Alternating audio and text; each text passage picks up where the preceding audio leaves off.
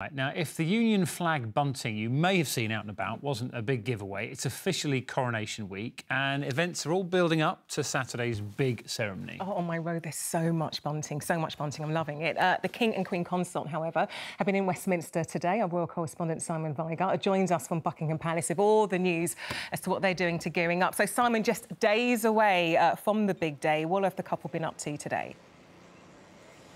Hi there. Well, yeah, behind the scenes and in front of the scenes, incredibly busy for them both. Uh, let's have a look at the public engagement today. Over at Westminster Hall, the King and the Queen have been there meeting uh, parliamentarians. Uh, Charles met the Prime Minister, the Leader of the Opposition, Sir Keir Starmer, and the longest serving uh, MPs, the uh, father and the mother of the House, first of all, and lots of other parliamentarians there ahead of the big day at the Abbey, including uh, former Prime Ministers. Some of them will get invitations, uh, but not all of them, so today was a day to meet them. And it is, Simon, a really whopping week, isn't it? Because there's a few anniversaries knocking around as well.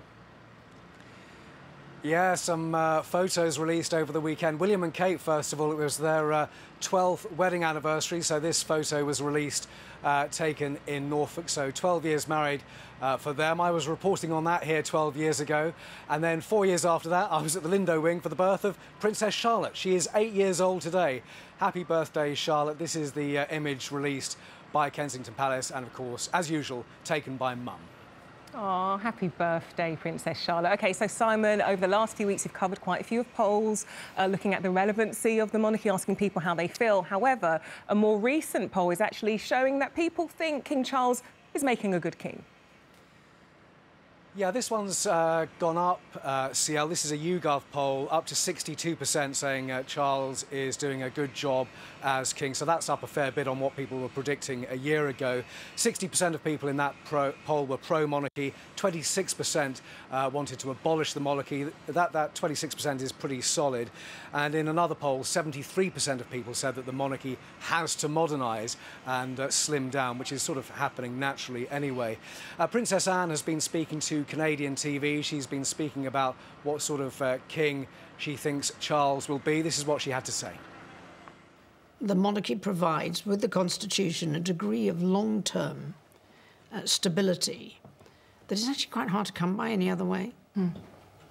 And, and when we think about this, this duty, this role that the king has taken on, what kind of king do you think he'll be? well, you know what you're getting because he's been practicing for a bit.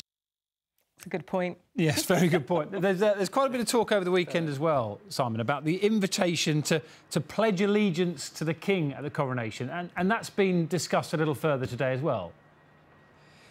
Yeah, I think the public messaging got a bit messed up here, Dan, and maybe there was some twisting and misreporting too essentially it's like the national anthem. If people want to sing the national anthem, they can, they don't have to. As far as this Pledge of Allegiance goes, people are being invited by the Archbishop of Canterbury, people are being invited as an inclusive element of the service to make that Pledge of Allegiance. They're not being told to, they're not being asked to, so people can do it uh, if they want. They don't even have to watch the coronation, of course, but I think uh, a fair few will. But whether they get involved in the pledge is completely up to them.